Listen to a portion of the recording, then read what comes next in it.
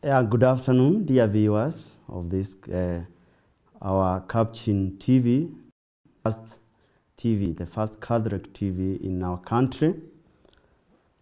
I'm happy to have you as we discuss a topic that touches all of us in very different ways. But first of all, I'll introduce myself. I'm um, Reverend Father Dr. James Wangai Kabata. I'm a conventual Franciscan.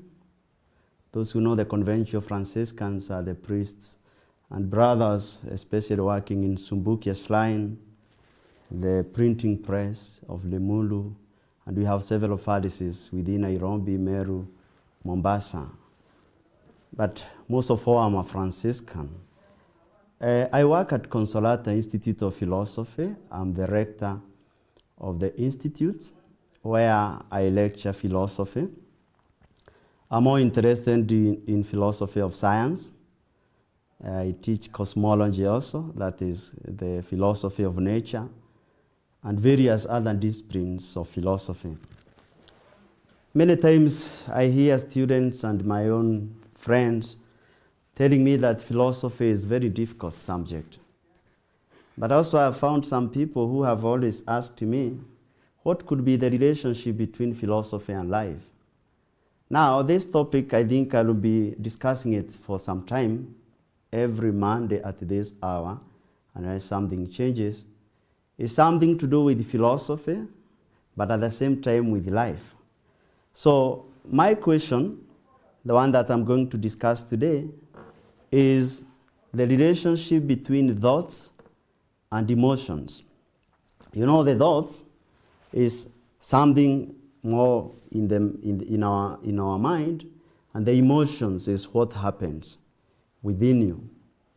Sometimes you can ask yourself, how comes two people are in the traffic jam and the vehicles are not moving? One gets agitated, annoyed, insults, raise fingers, and is blasting everybody. Whereas the other one is calm, maybe praying a rosary or doing something. Now you can see here there is one event. Both are in the traffic jam, but the two people react differently. In our discussions, we'll be trying to see what is the relationship between your thoughts and your emotions. Can your thoughts produce emotions within you? So we usually say that thoughts and emotions are related and sometimes can be experienced together. But at the same time, thoughts and emotions are distinct.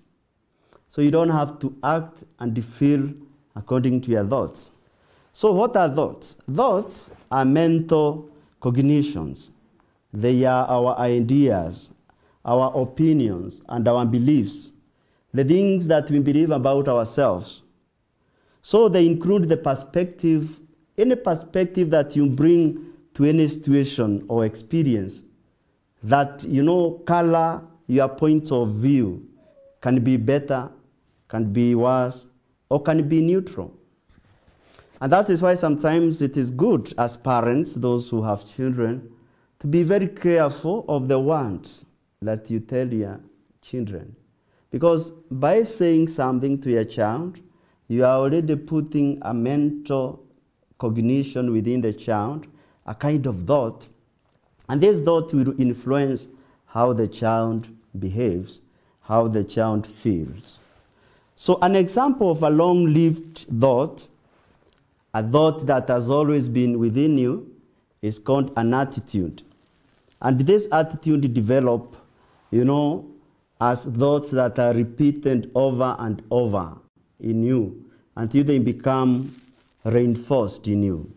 So while thoughts are shaped by life experiences, genetics, and education, they are also generally under conscious control. In other words, if you are aware of your thoughts and attitudes, you can choose to change them. Sometimes that is why, even when people go for counseling, what the counselor is trying to do, or the psychologist, is to bring you into contact with your own thought system. Because these thoughts are the ones that make you, some people feel the way they feel. So those are the thoughts. They are mental cognitions. They are within our, uh, the ideas and the opinions and the beliefs that you have. Now, what are emotions? Many times we use this word emotions, and um, sometimes we, we really don't know exactly what is the meaning of emotion. So it may be useful for us to think of emotions as the flow and experience of feelings. For example, when we talk of emotion, we talk in terms of joy. I feel joyful, or sadness. I feel sad, or anger. And anger is one of the most strong emotions that really disturb most people because even if you look at the word anger, anger, if you add D into that word, what becomes of it is danger. So anger is danger. There are also emotions of fear.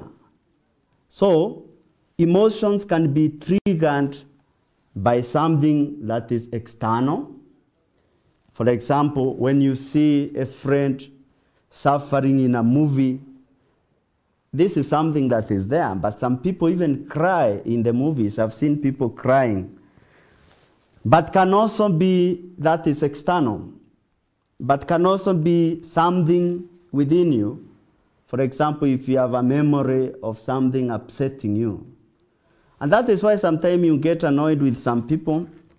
You meet some people, and because these people trigger a memory of what happened one day, you see, you become angry immediately. And, and that is why some people say, I, I have to avoid that person because whenever I see this person, I get angry. It's because there is something internally within you that keep on coming. So, while emotions are universal, each person may experience them and respond to them in a different way. Some people may struggle with understanding what emotion they are experiencing.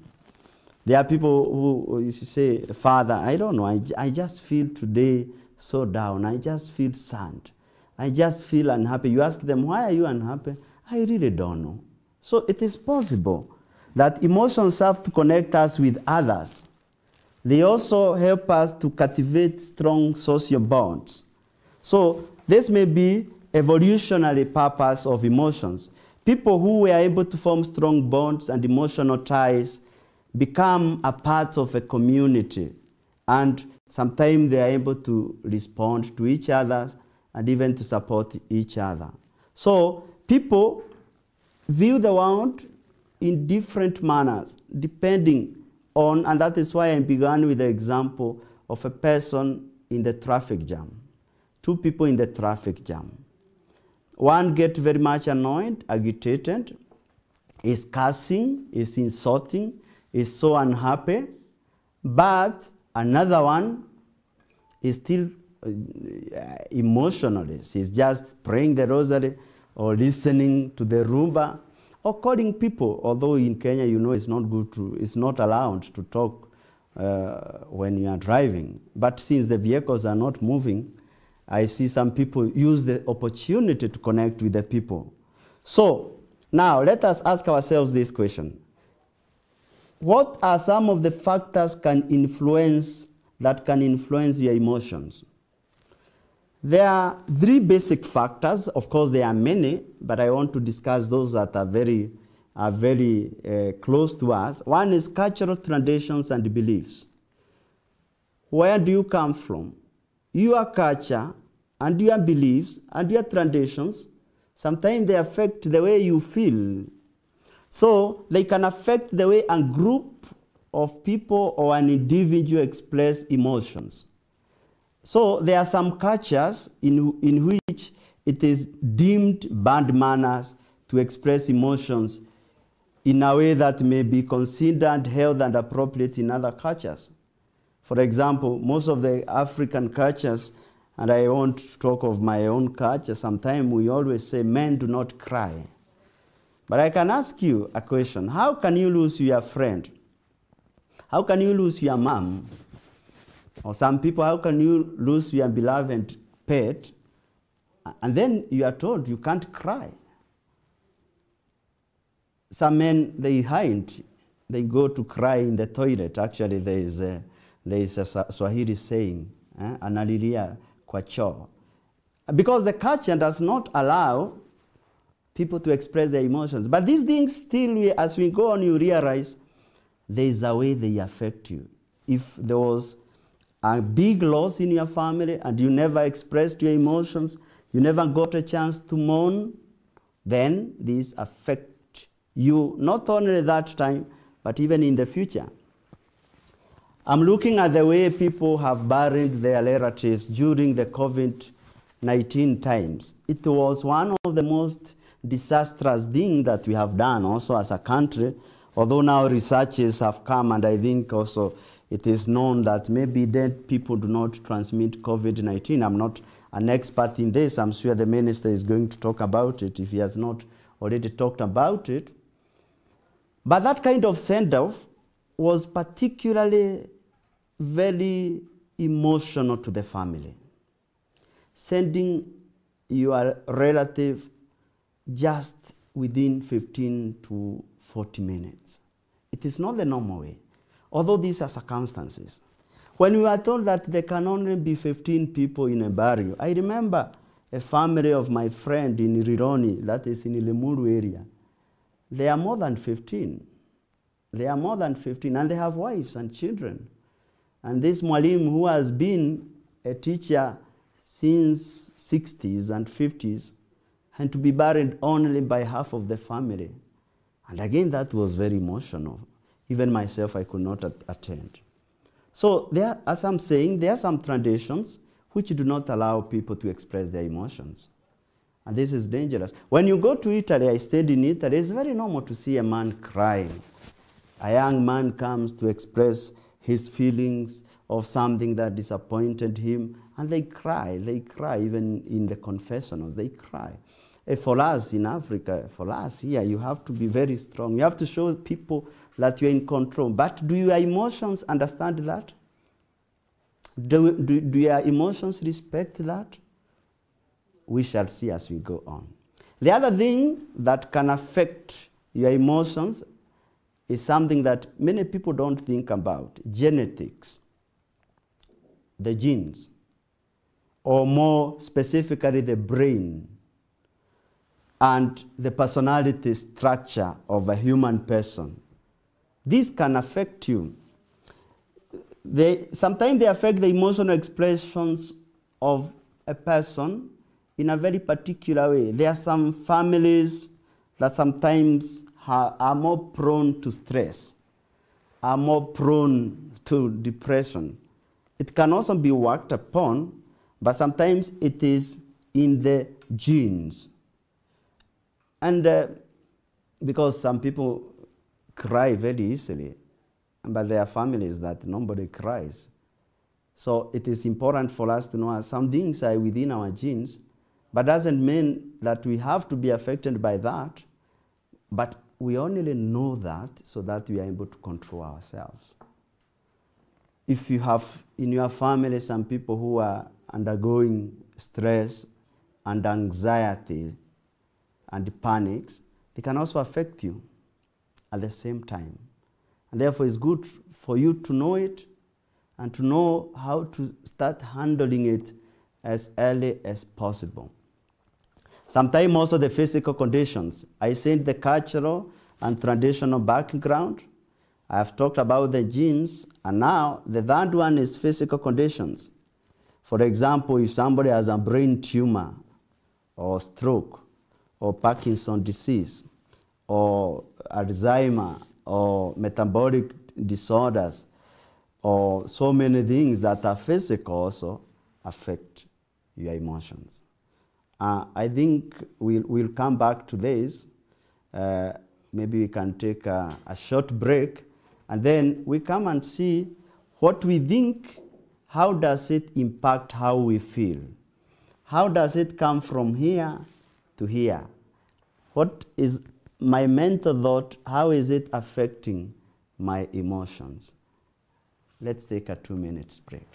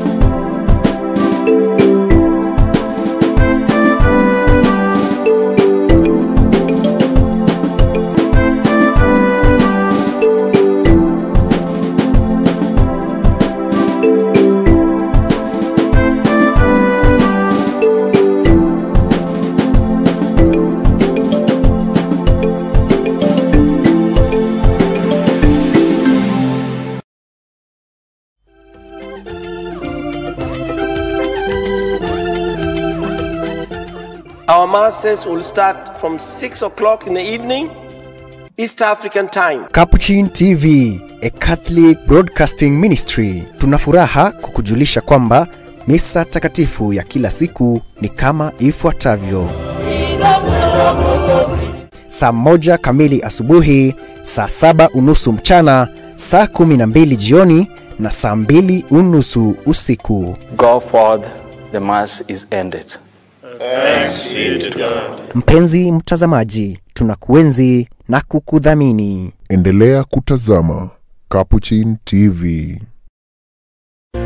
Kitubio au upatanisho. Sakramenti ya kitubio ndiyo sakramenti ya kuondolea watu dhambi walizotenda baada ya ubatizo. Sakramenti ya kitubio pia huitwa sakramenti ya upatanisho, ipo katika fungu la sakramenti za uponyaji.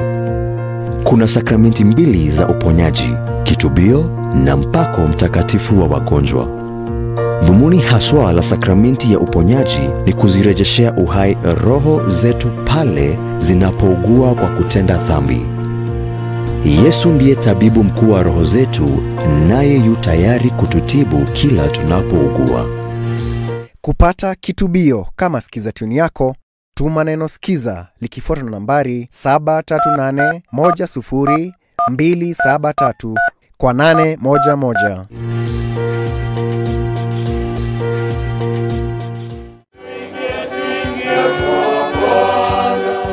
Liturujia Katoliki, sakramenti, kuungama, ekaristi, sala, nyimbo, neno la Mungu, ibada takatifu. Jiunge nasi kila siku ya Jumapili saa moja unusu usiku na Jumatatu saa nne asubuhi kwa liturujia Katoliki na Padre Bonfas Mukwe.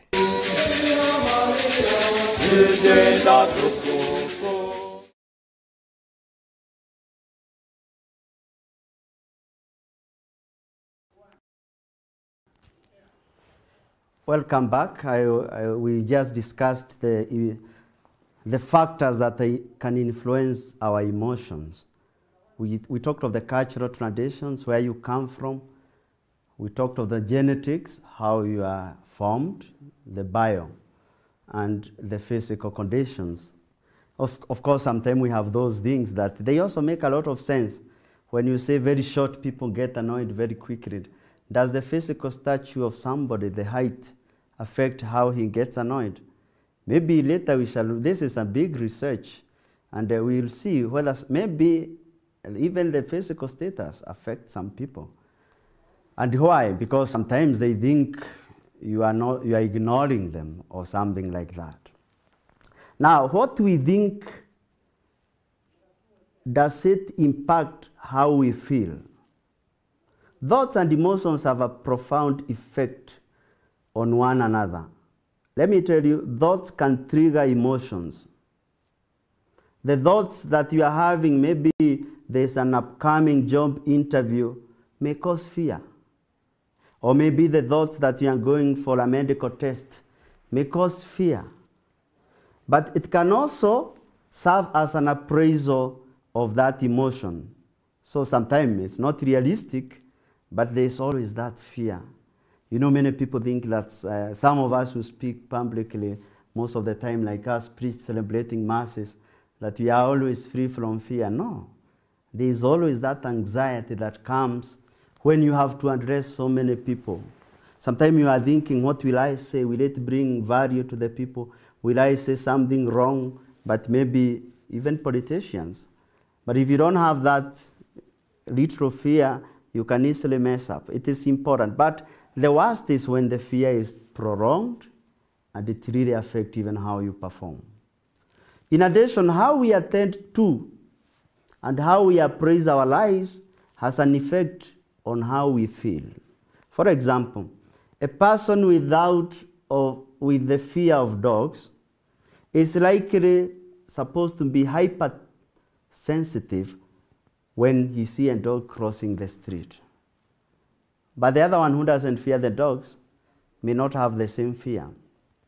So another person who see dogs as friendly and most of us Franciscan are like that, that even I visit a family where they tell me you have to cough because the dogs here is very fierce. But I go and I enter, and the dogs, they just look at me as I pass. Of course, don't try this if you are not a Franciscan like me. But it is true that the more you fear the dog, the more the dog even gets to sense your own fears, and the more it is likely going to attack you. But it is important for you also to know that this fear has a cause. Maybe as a child, there is something that happened with, uh, or there is a story that you read about a dog that chased somebody and died, Oh, you had stories about friendly dogs, something like that. So, we have done how many things? We have discussed what are the thoughts? What are emotions? What influences the emotions? And the, how, which are the factors that can influence how we, we feel? The cultural background, the genetics, and the physical conditions. And then what we think, does it impact how we feel? Now, I was just talking with somebody outside. I say, how comes somebody can enter into a room, say a very harsh word, and the people react differently? People don't react the same. So, can we change our thoughts and emotions? Is it possible? So, we tend to believe that they are part of us. There is nothing we can do. But uh, sometimes it's good to know, sometimes you can do something. For example, altering an external situation. Uh, if you stay with somebody who really is very harsh to you, you can try to avoid discussing with that people, with that person. There is a story of a, a man, a philosopher, who said uh, he was asked by the friend, How do you maintain your, your joy, your peace, and you don't argue with the people? And then the man said, I maintain my peace because when somebody says something bad, I always ignore. And the other friend said, Of course, that is very, is very stupid. You cannot say that. And the man said, Yes, I agree. So the man was shocked, and that is a way of avoiding arguments. Because we have also people called sadists. They are the people who enjoy when you are in problems. They are the people who enjoy when you are feeling pain. They are, they, they are these people who, even when they are sharing a very bad experience of someone else, they are laughing. In philosophy, we have two schools we have the Epicureans and the Stoics. The Epicureans are the people who enjoy life to the maximum. For them, it's nyamachoma, drinks, so many things. They enjoy. They are the life of the party. But at the same time, we have the Stoics. The Stoics, they enjoy pain. And the more even they feel pain, there are people who inflict themselves pain. Those are the Stoics. When we come next time, we shall try to analyze how my thinking and my feeling get connected. Because at the end of the day, we want also to learn how to control, how to maintain in order to live a healthy life. And a healthy life, uh, psychologically or philosophically, we say it is not the perfect life. It's that kind of life where you are able to cope with daily activities, to cope with your daily problems, to live despite all that is surrounding you. So I think we'll meet again and discuss that relationship again between the thinking, the feeling, and how they are connected. Thank you very much.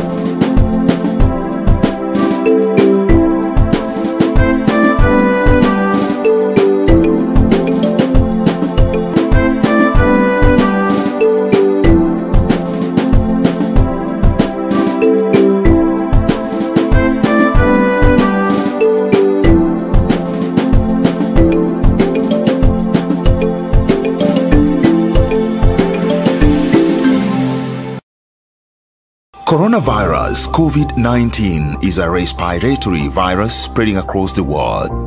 The infection is spread from droplets of coughing and sneezing of an infected person, touching or shaking hands, or being in contact with contaminated surfaces or objects with the virus. The signs and symptoms are fever, coughing, headache, body ache, difficulty in breathing. The disease can be prevented by regularly washing hands with soap and running water. Avoid close contact with people who have flu-like symptoms. Avoid handshake, hugs, and kissing. Also, protect yourself by covering your mouth or nose using a disposable tissue while coughing or sneezing. If you experience these symptoms and you had traveled or been in contact with a person from a country reporting COVID-19, you should isolate yourself for 14 days and seek immediate medical attention or report to the nearest health center. This message has been brought to you by the government of Kenya and its partners.